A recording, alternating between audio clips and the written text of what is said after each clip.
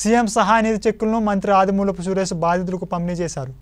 ప్రకాశం జిల్లా ఎర్రగొండపాలెంలో party camp కార్యాలయంలో సీఎం సహాయ నిధి కింద మంజూరైన చెక్కులను లబ్ధిదారులకు మంత్రి అందజేశారు.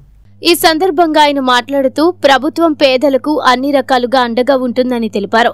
ఈ కార్యక్రమంలో ఏఎంసీ చైర్మన్ మూర్తిరెడ్డి మండల పార్టీ అధ్యక్షుడు కిరణ్ గౌడ్ కందూరు గురుప్రసాద్ జబీబుల్లా మాజీ ఎంపీపీ విజయభాస్కర్ తదితరులు పాల్గొన్నారు.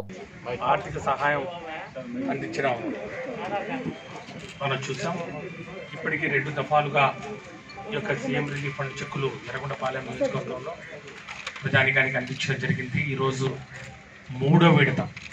ఈరోజు కూడా సుమారు ఒక యాభై తొమ్మిది చెక్కులు. యాభై తొమ్మిది చెక్కులు సుమారు పంతొమ్మిది లక్షల ముప్పై ఒక్క వేల రూపాయల మరి విలువ కలిగినటువంటి చెక్కుల్ని కూడా ఈరోజు యొక్క కోవిడ్ నైన్టీన్ ఈ యొక్క కథం అందిస్తున్నటువంటి ఏ కార్యక్రమం కూడా ఆగడానికి వీల్లేదు. ఎవరు కూడా ఈ యొక్క సంక్షేమ కార్యక్రమాలు కానివ్వండి అభివృద్ధి కార్యక్రమాలు కానివ్వండి ఈ యొక్క పథకాల నుంచి వచ్చే లబ్ధి పొందకుండా ఉండడానికి లేదు. ఏ కారణం చేతైనా అది ఆగిందంటే అది కేవలం వాళ్ళు ఆ యొక్క పథకానికి అనర్హతగా ఉంటే తప్ప పార్టీలు కానివ్వండి కులాలు కానివ్వండి మతాలు కానివ్వండి ప్రాంతాలు కానివ్వండి ఇవేవి ప్రామాణికంగా తీసుకోకుండా కేవలం అర్హత ఒకటే ప్రామాణికంగా తీసుకొని ఒక యొక్క సంక్షేమ కార్యక్రమాలు అందించాలనే ఉద్దేశంతో ఈరోజు ఇక్కడ మేమందరం నాయకులందరం కూడా పనిచేస్తా ఉన్నాం. చేసిన పరిస్థితుల్లో చాలా వరకు ఎర్రగొండపాలెం నియోజకవర్గంలో మనం దాన్ని ప్రబలకుండా అడ్డుకోగలిగాం. ఒక మూడు నాలుగు నెలలు March April May June July.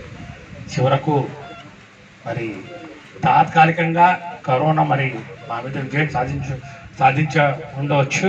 కానీ ఖచ్చితంగా దాన్ని ప్రతిఘటిస్తాం దాన్ని అదుపులో ఉంచుతాం.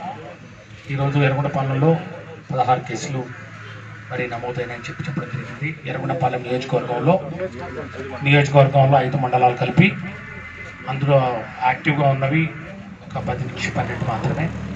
అయినా కూడా ఎక్కడికెక్కడ ఒక ఆదేశాలు ఇవ్వడం జరిగింది. దీన్ని కట్టడిలో ఉంచుతాం. దీన్ని నియంత్రణలో పెడతాం.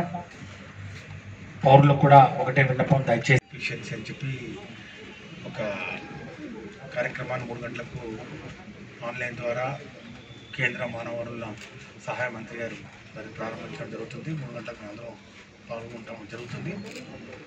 మరి దానికి కావాల్సినటువంటి ఈ యొక్క దాని తర్వాత రాష్ట్రంలో ఆన్లైన్ క్లాస్ వర్క్ కానివ్వండి డిజిటల్ క్లాస్ వర్క్ కానివ్వండి ఏ విధంగా నిర్వహించుకోవాలనే దాని మీద కూడా విధి విధానాలు రూపొందిస్తున్నాం త్వరలో అనేది కూడా విడుదల చేయడం జరుగుతుంది. ఇక ఈ యొక్క సమయాన్ని ముఖ్యంగా ఉపాధ్యాయులు మరి ఈ యొక్క ఇంజనీర్లు ఎవరైతే ఉన్నారో